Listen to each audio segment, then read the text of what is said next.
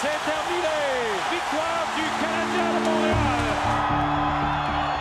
Une foule dense de plusieurs milliers de partisans s'était donné rendez-vous aux portes du Forum, mais les célébrations ont vite tourné au cauchemar.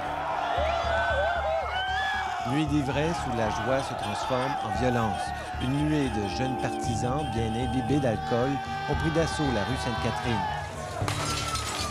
Les vitrines des grands magasins n'ont pas résisté très longtemps aux pilleurs qui ont saccagé plusieurs commerces du centre-ville, tout comme ils l'avaient fait en 1986 lors de la dernière Coupe Stanley des Canadiens.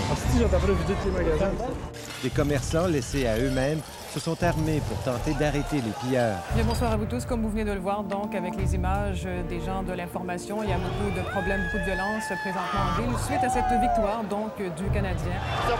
La police de la CUM, qui se préparait depuis longtemps pour cette victoire, a été complètement débordée.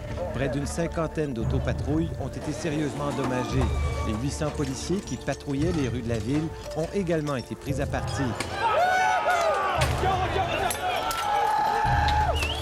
Pendant près de trois heures, les jeunes partisans s'en sont donnés à cœur joie, détruisant tout sur leur passage. Les médias qui tentaient de couvrir l'événement ont également été la cible des fêtards.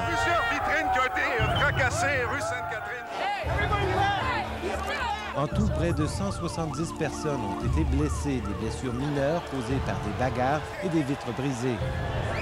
Ce n'est qu'aux petites heures du matin que la police a réussi à maîtriser la situation après avoir effectué plus d'une centaine d'arrestations. Les dégâts matériels sont importants et risquent de dépasser les 10 millions de dollars, ce qui fera de la Coupe Stanley de 1993 la plus coûteuse de l'histoire du Canadien. Daniel Carrière, à Montréal.